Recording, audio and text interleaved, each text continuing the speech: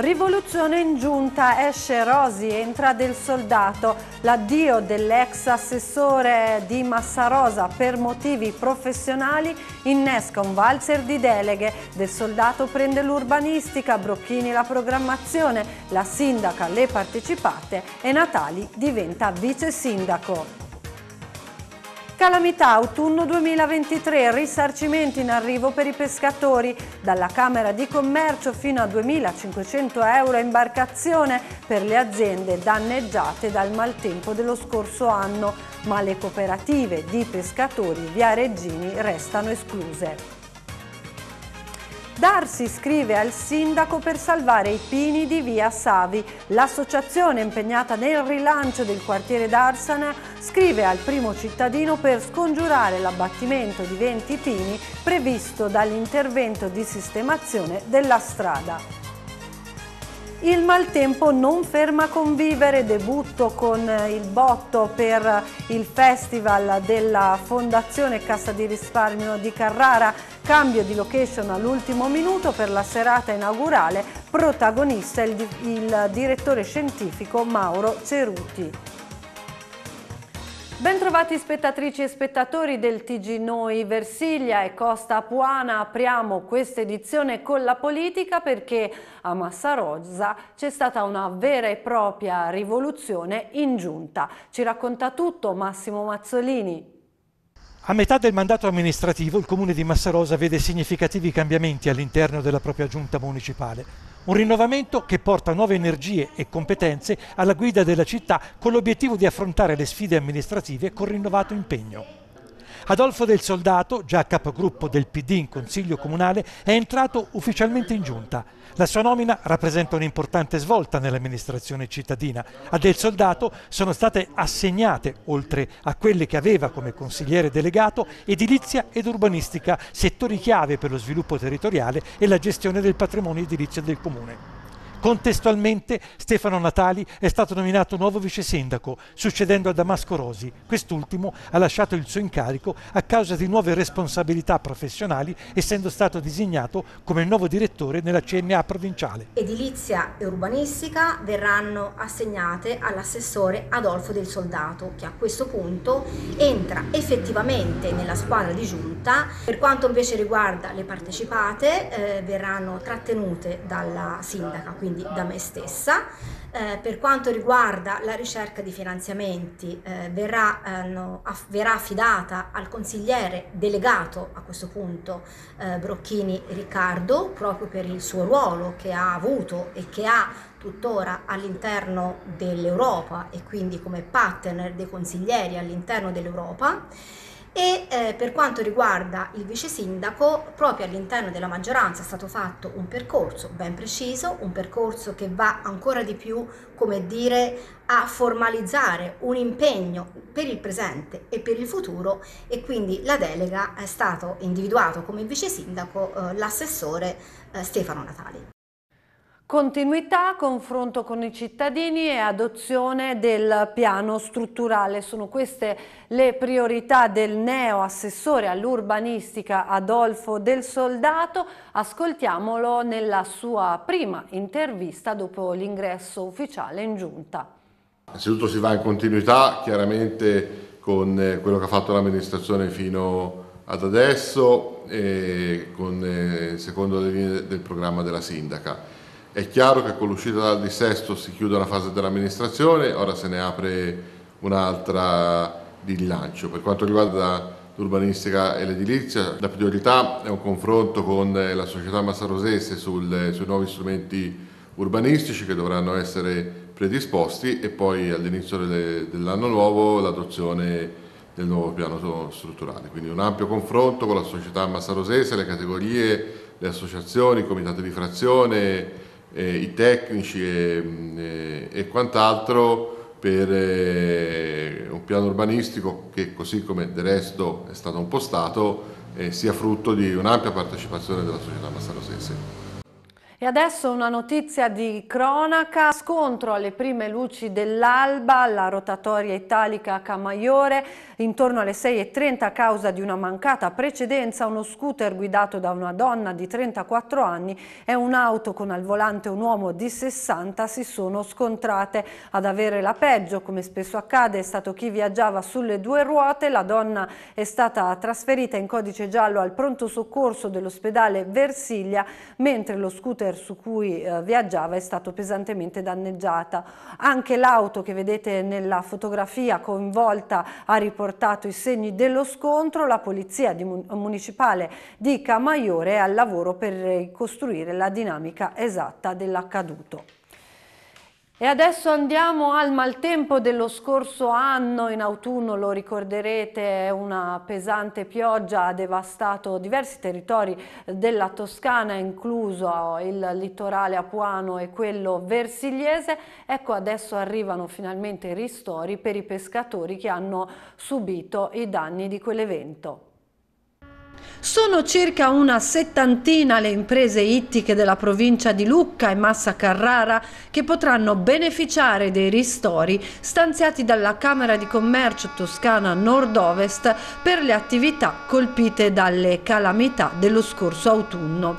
Gli aiuti potranno variare a seconda della stazza dai 1.000 ai 2.500 euro per ogni singola imbarcazione.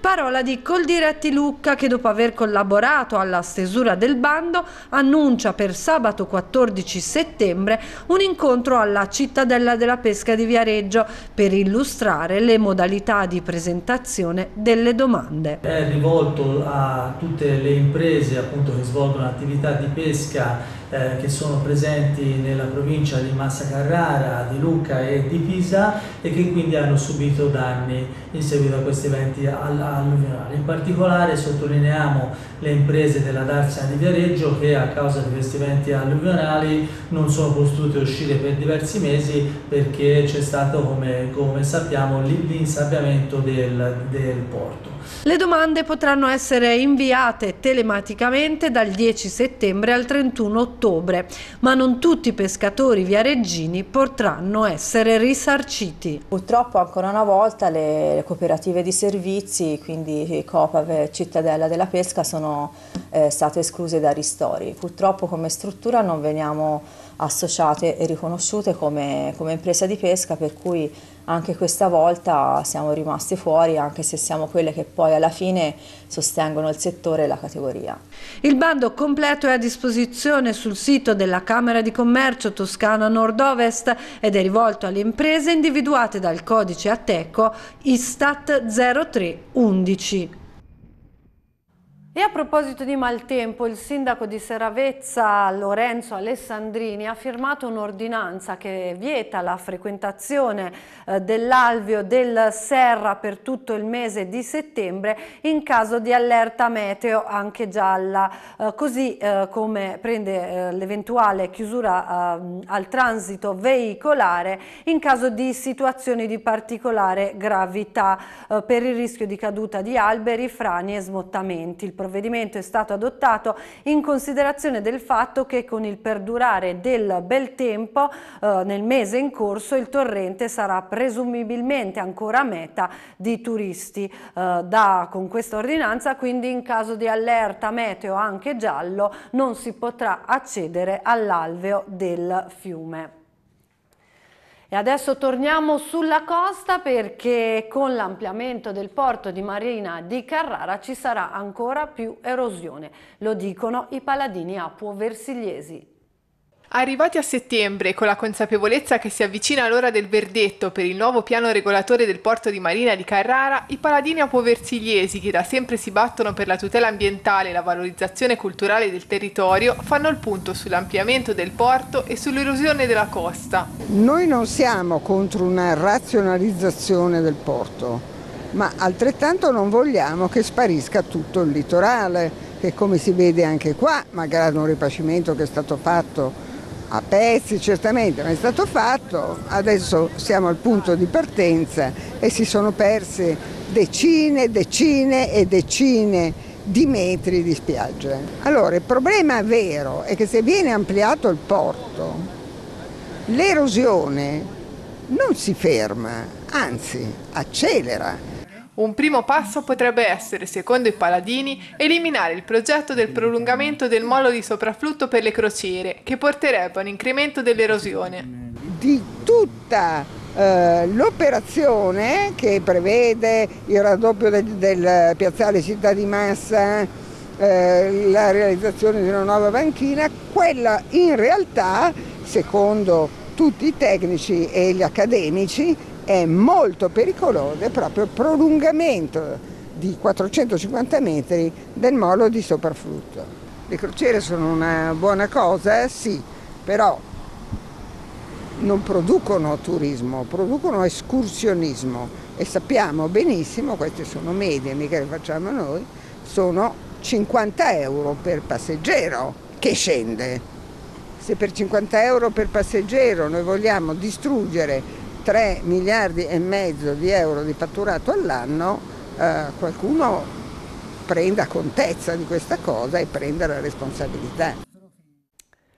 Questa sera alle 21.30 Noi TV trasmetterà la replica dello spettacolo organizzato dai Paladini Apo Versigliesi andato in scena lo scorso 5 maggio con grande successo al Teatro Guglielmi e dedicato al documento storico-scientifico del 1802 reperito nell'archivio di Stato a Massa. La rappresentazione intitolata Il sentimento di eh, Boscovic dinanzi al ministro del Duca di Modena è stata ideata ideata proprio da Orietta Colacicco e ha il patrocinio dei comuni di Massa e di Forte dei Marmi. Lo spettacolo riflette sulla razio di un porto in territorio apuano, secondo la scienza di ieri e di oggi, partendo appunto dal documento del 1802 e eh, elaborato in uno spettacolo dal, dai Paladini. Quindi da non perdere questa sera alle 21.30 su Noi TV. E adesso ci spostiamo a Viareggio perché da Via Salvi parte una lettera al sindaco per mettere in sicurezza i pini.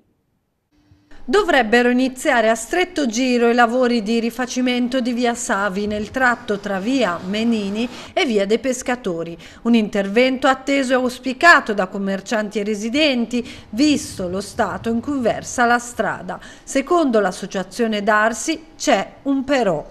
La sistemazione prevede infatti l'abbattimento dei pini, una ventina, presenti sulla via e la loro sostituzione con degli oleandri come quelli già presenti nel tratto subito più a monte della strada. Un cambio che, secondo l'associazione, è tutt'altro che equo. E questi sono pini di circa 200 anni, eh, più o meno, e costituiscono un corredo urbano incredibile, forniscono uh, ombra alle attività dei residenti in questa bellissima via del porto e onestamente sostituirle con degli oleandri ci sembra una, una, cosa insufficiente. Vorremmo se possibile un incontro con il sindaco, se possono produrre le, i documenti ufficiali eh, con la perizia, così possiamo capire meglio come eh, risolvere in cooperazione con loro questa, questa questione. Di qui la lettera aperta al sindaco di Viareggio in cui l'associazione cita a mo' di esempio virtuoso il progetto di riqualificazione di Piazza Viani, sempre a Viareggio, dove i pini saranno preservati. A proposito di lavori pubblici, a Pietrasanta sono iniziati gli interventi da 600.000 euro per la riqualificazione del percorso pedonale tra via Benedetto Croce e il quartiere Africa. Si tratta di un percorso con una colorazione ben visibile, protetto e più ampio per collegare in sicurezza l'abitato di via Benedetto Croce alle vicine aree commerciali del quartiere Africa. Eh, l'intervento L'intervento è iniziato mercoledì 4 settembre eh, con lo smantellamento del vecchio marciapiede. Eh, il costo totale è, come abbiamo detto, di circa 600 mila euro e eh, il progetto è stato condiviso con gli abitanti della zona grazie alla mediazione del consigliere Giacomo Vannucci. Nelle opere è rientrata anche l'asfaltatura di via Pisanica nel tratto compreso fra il campo di atletica e via del Barcaio. Adesso andiamo alla cultura perché nonostante il maltempo è iniziato con un tutto esaurito il Festival Convivere a Carrara.